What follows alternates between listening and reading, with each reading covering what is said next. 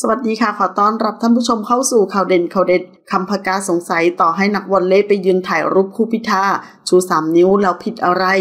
กลายเป็นประเด็นดราม่าในโลกโซเชียลหลังจากที่หม่อมเจ้าจุลเจิมยุคลได้โพสต์ข้อความผ่านทางเฟซบุ๊กส่วนตัวตำหนิเพียวอัจฉราพรคงยศ นักวอลเลย์บอลหญิงทีมชาติไทย หลังเจอภาพชูสามนิ้ว ระหว่างการแข่งขันวอลเลย์บอลเนชั่นลีก พร้อมตั้งคำถามว่าทำเพื่อใครทำเพื่อชาติ หรือทำเพื่อเอาใจใคร รวมทั้งวิพากษ์วิจารณ์ว่า ไม่สมควรเป็นตัวแทนของทีมชาติไทย ก่อนจะโพสต์ขอโทษในเวลาต่อมา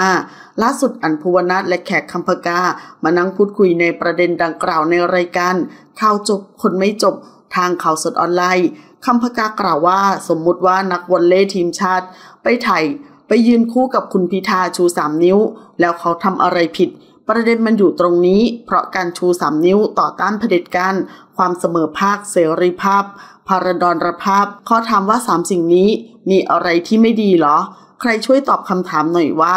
การเรียกร้องประชาธิปไตยมีตรงไหนที่ผิดกฎหลักสากลบนโลกอารยะ และสมมติว่าคุณไม่ชอบสัญลักษณ์สามนิ้ว แต่คุณไม่ใช่กฎหมายคุณไม่สามารถเอาความผิดของคุณไปสั่งให้คนอื่นหยุดทำและเกณฑ์การเป็นนักวอลเลย์ทีมชาติ เป็นเรื่องของความสามารถ ไม่ใช่การรักชาติเข้มข้นมากแค่ไหน ขอขอบคุณข้อมูลจากทีนี่ .com ขอบคุณค่ะ